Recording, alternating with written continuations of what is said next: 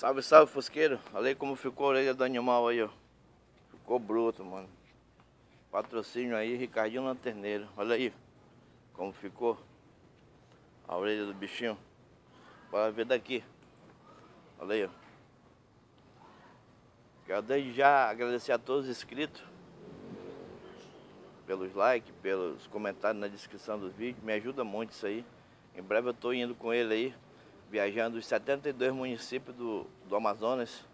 Vou começar pelo Rio Preto da Eva, Lindóia, Taquatiara, eu vou voltando. Aí vou pegar Presidente Figueiredo e assim vai. A, o destino é Lábrea, entendeu? Em Lábrea. A Transamazônica está saindo, está normalizando, né?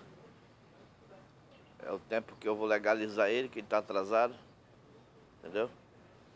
Mas é, é micharia que ele está devendo, está devendo 600 reais só. Isso aí, quero agradecer também o Bigodi, que foi onde tudo começou, né? Eu assistindo os vídeos do, do Trovão, que é o nome do Fusca do Bigodi, foi onde me deu aquela inspiração, né? De ter um Fusca. Aí eu comecei atrás, sabe, de um Fusca pra mim. Encontrei esse aqui. O rapaz estava vendendo por mil reais. Eu não tinha os mil reais. Eu tinha uma parafusadeira na caixa da Bosch. Eu tinha uma maquita da Bosch também zerada na caixa. E tinha um martelete. E tinha uma mesa de som. Um toca-CD. Um, um amplificador. Aí trocamos, fizemos a troca e ele me pediu mais 400 reais, né? Peguei e dei pra ele. Ele tem os dois documentos dele, falta só passar pro meu nome, entendeu? Mas eu vou legalizar isso aí, tudinho o tempo que eu vou legalizar isso. Então foi através dos vídeos do, do Bigodi que eu, me deu a inspiração, né, de ter um Fusca que eu corri atrás. Tá aí ele hoje aí. Dia 20 de julho, ele vai fazer dois anos na minha mão, esse Fusca. No dia 21, no outro dia, que eu comprei ele, eu comprei no dia 20 de julho, no outro dia era meu aniversário. Então praticamente eu me presenteei, entendeu? Fui presenteado ele.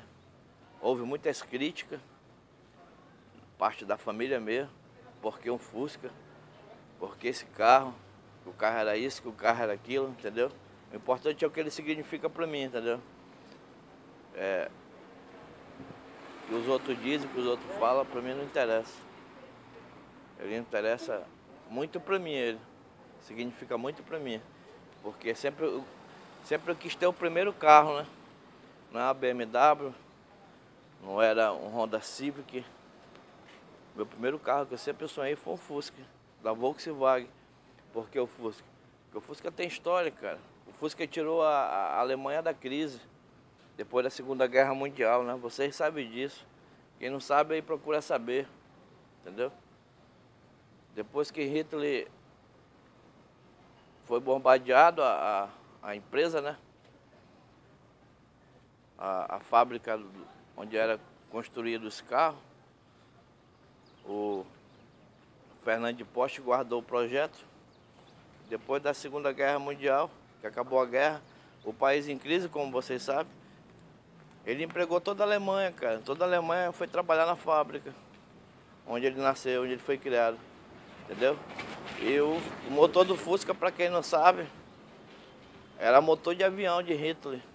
Era onde o Fernand Porsche, mais outros alemães aí, engenheiros da época, criaram o motor para adaptar no, nos aviões do, de Hitler.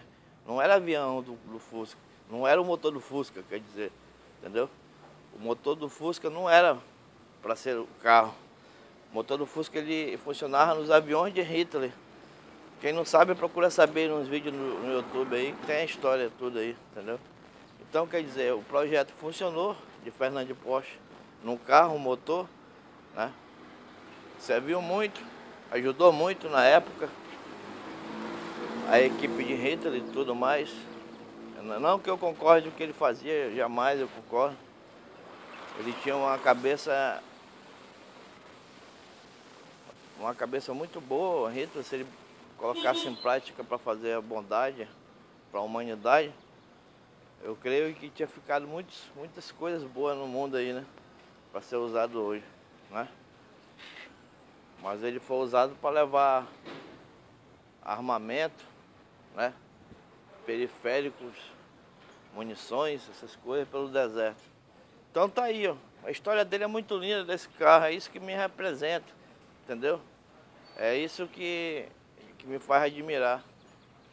Então tá aí, eu quero agradecer meu patrocinador, Ricardinho Lanterneiro, que me deu par de retrovisor cromado, me deu os pisca, entendeu? Ele me deu um desse aqui, ó. Colocar zerado. E ontem eu ganhei um par de, de paralama do, do meu amigo Rat.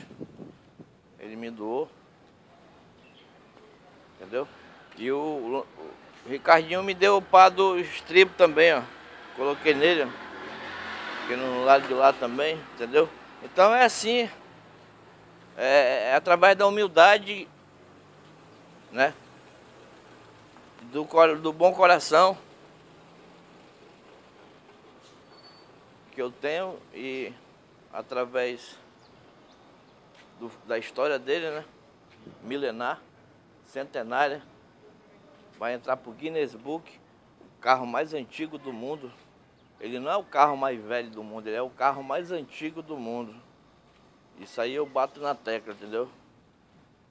Não existe carro velho, existe um mau cuidador, entendeu?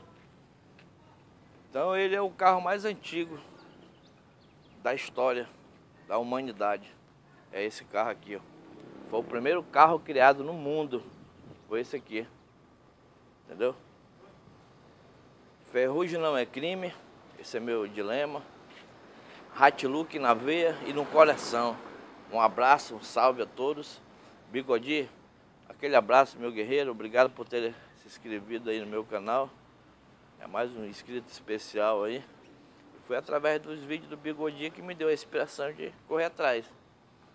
Eu assisti o vídeo do, do Trovão, né? A história toda do Trovão. Eu gosto, eu, eu queria um carro assim, que desse problema de uma peça ali, parasse acular para o carro disso, daquilo, entendeu? Se eu quisesse um carro perfeito, eu ia me virar aí para comprar uma Ferrari, né? Ia comprar uma Ferrari, mas não. Ele é um carro cheio de defeito que nem eu. O Fusca, ele é um carro cheio de defeito que nem eu. Eu tenho vários defeitos de caráter. Preciso ser mudado, moldado. Assim mesmo é ele. Entendeu? Você vai mudando ele, modificando ele da, das suas condições, né? De, de trabalho, entendeu? Não é através de crítica, através de, de, de conversas é, que queiram abaixar a tua autoestima, entendeu? Deixar lá embaixo. Quando eu, eu comprei esse carro, adquiri esse carro, eu nunca me deram um apoio de autoestima para mim ficar com o meu ego legal, entendeu? Feliz. O que as pessoas falavam para mim era só palavras baixas de, de assim para baixar a minha autoestima, sabe? Para querer me decepcionar por causa dele, né? Mas não, eu sou muito feliz por causa desse carro. Entendeu? Eu tenho muito orgulho de dizer que ele foi meu primeiro carro. Entendeu? Eu tenho muito orgulho de dizer que eu tive infância depois dos 40 anos, porque eu, eu dirijo bem o Fusca, entendeu? Eu dirijo bem o Fusca, estou falando para uns e outros aí, que tá vendo o canal aí, que quem dirige o Fusca dirige bem, dirige bem qualquer carro, qualquer caminhão, qualquer trator, qualquer ônibus, entendeu? Quem dirigiu um Fusca com 40, 50 anos é porque teve infância. Por mais que esteja 40 anos, 50 anos, 60 anos. Entendeu? Foi meu primeiro carro que eu dirigi quando eu tinha, quando eu tinha 16 anos. Carro do finado, finado Padre Puga, aqui de Manaus. Entendeu? Eu fazia um anúncio no arraial da igreja, da igreja católica uma boca de ferro em cima dele. O rapaz ia do meu lado falando e eu ia dirigindo. Eu me senti o máximo, cara, com aquele Fusquinha. Então marcou muito pra mim, né? Aí depois foi o, Passat, segundo carro que eu dirigi. Aí o terceiro foi um Corcel, o Corcel 2. Entendeu? Isso aí, eu vou encerrando o vídeo, deixa meu like, clica no sininho e tamo junto. Bigodinho, aquele abraço, guerreiro. Ricardinho Loterneiro. Aquele abraço, guerreiro. Obrigado aí. Um abraço para o Rat. Comprou aí o seu ratão vermelho. Segundo carro. Segundo Fusca que ele comprou. O primeiro não deu certo o projeto. Aí esse agora deu certo. Ele vai buscar segunda-feira. Aí terça-feira eu vou fazer o vídeo junto com ele lá na garagem. Vou mostrar para vocês aqui no canal. Um abraço a todos. Fico com o nosso poder superior, que se chama Jesus Cristo. Jesus de Nazaré. Um abraço a todos, hein? É nós, tamo junto. Deixa meu like, clica no sininho e deixa os comentários de vocês aí na descrição do vídeo. Um abraço a todos.